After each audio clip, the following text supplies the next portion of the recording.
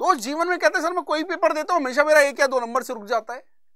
हमेशा, सर, मैं ही फेल होता हूँ।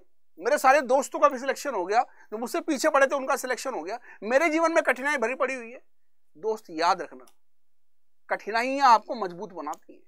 भगवान भी सबसे कठिन रोल उसी इंसान को देता है, जो उसको बखूबी निभा पाता है। तो वो एक ऐसा डायरेक्टर है ना वो एक ऐसे डायरेक्टर हैं जो उसको वह बेहतरीन रोल देते हैं दोस्तों, जिसमें वो जज्बा होता है कुछ करने का। तो दोस्त, आप भी सफल होंगे। बस, यहाँ भरोसा उसका आशीर्वाद चाहिए। मेहनत में, मेहनत करो, तूफ़ान रच दो।